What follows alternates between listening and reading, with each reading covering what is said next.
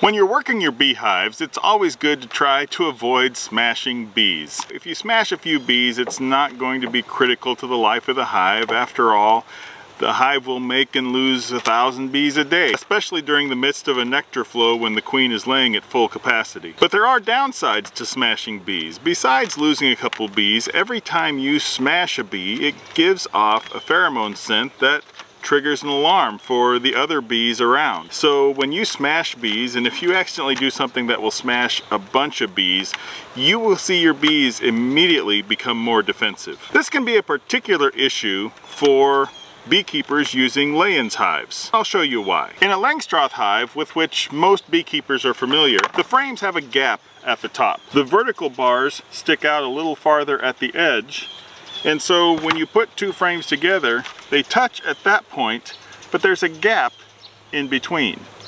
And that gap is necessary for keeping in a Langstroth hive because it's a vertical hive. You have your brood chambers on the bottom, and then you're going to put honey supers on top of that and the bees necessarily need to be able to move vertically between boxes. But the Layens hive is a horizontal hive. You're not stacking vertical boxes and the tops of the Layens frames do not have a gap.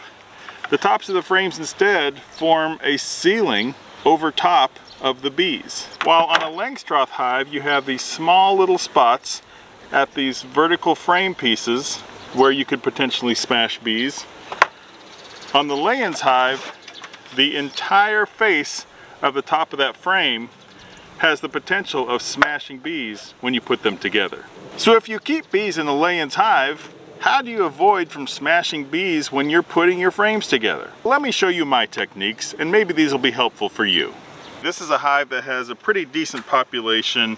I've got my open area over here that has a bunch of bees just milling about and I've got a bunch of bees up here on top of the frames and part of that is because some of these frames are uh, imperfect frames that I went ahead and used and there's a little opening right here where the bees can come up through. I also have my identification card here. This is my two of spades colony and the bees seem to have tried to clean up that card and get rid of the trash. For those unfamiliar with the Layens hive, the reason, besides this gap over here, that they can get into this open space is that there is a gap below this follower board. They don't typically build comb over here on the roof or anything, but some say that having that knowledge that they can pass underneath gives the bees a little less swarming instinct because they don't feel quite so out of space. Hopefully I can show this fairly well up close, some of the uh, techniques that I use.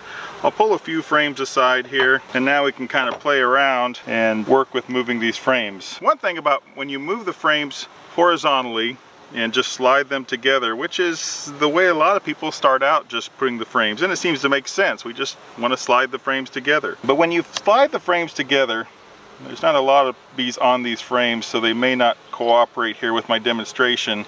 But one thing that you'll typically see, especially where you have a high population of bees, is that when you put the frames together horizontally, when you get just a small gap in there, I got a bee here starting to poke her head up, you'll start to get bees that are immediately come up to fill that gap. But that creates an issue for the beekeeper because you have two choices you can either push the frames together very quickly, which is going to slam those frames and agitate the bees, or if you try to slide it slowly, bees are going to squeeze up in there, and then pretty much your only, only way of getting around it is to pull out your smoker and push the bees down.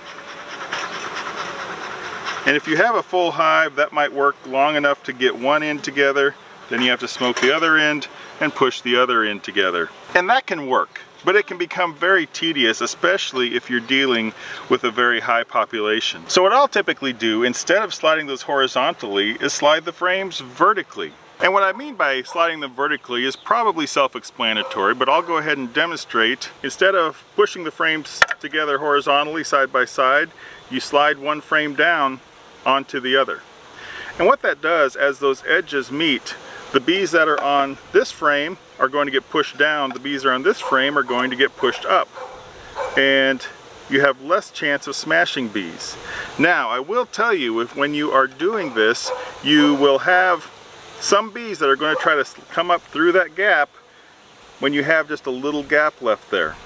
And so you do have the possibility of scissoring some bees in between those frames. Moving the frames vertically tends to work better for me than horizontal. These bees are almost being too calm and passive to really demonstrate this well. So just pretend we've got frames covered with bees here. And I would take this frame, start that frame out fairly high, and then just slide it down vertically. And as I do that, if I push the frames together, then I can kind of scrape off some of the propolis that gets built up in between those frames. As I mentioned before, sometimes that vertical movement will end up scissoring some bees and you just have trouble getting bees to keep from passing through that gap as you're moving those frames vertically.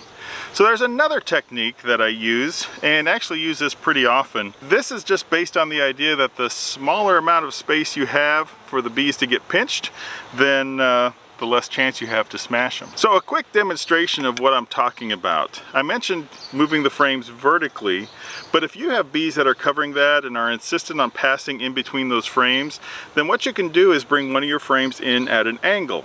Now you do have to have enough space in your hive to do this. So if you're dealing with a swarm trap or some other very small space, maybe a, a hive that's full of frames, then you may have to use some smoke to get bees out of the way.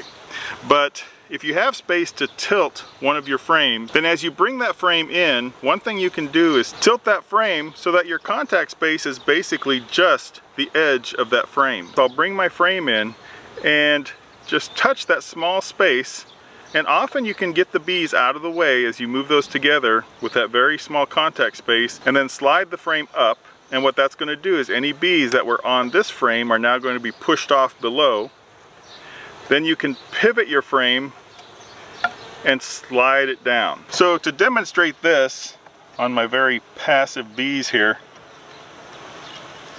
I'm almost being too cooperative, but since this is a fairly well populated hive, I was hoping that they would be a little more uh, forceful in pushing their way up. But like I said, if I were, if I had bees crawling all over this, I could pivot my frame. This frame's heavy, Makes it a little bit more of a challenge. But I'd pivot my frame, touch the edges together.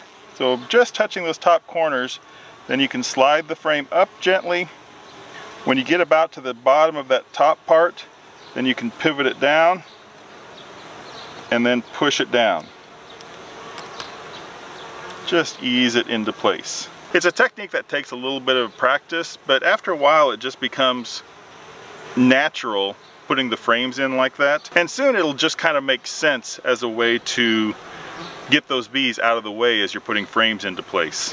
One other thing I'll mention is another opportunity to smash bees because these are deep frames, about 16 inches deep, it does take a little time lifting them out and unless you have very stable hands, it's real easy to bump those frames against the sides. And so something I will do as I'm getting the frames out to avoid rolling bees along the sides or the edges of the hive. So just to demonstrate, if you pull straight up, you've got maybe about half an inch on each side of this frame.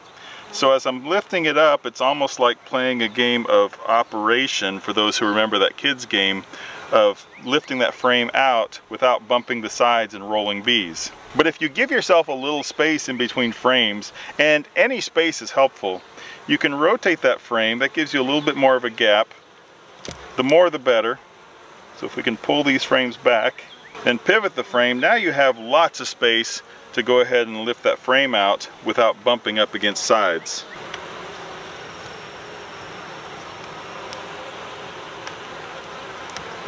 This is a fairly good demonstration because we do have some bees on this edge here.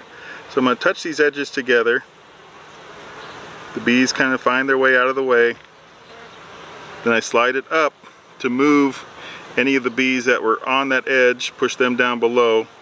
Let it pivot so the bottom edge of this frame I'm holding is touching the top edge, the top corner of this next frame.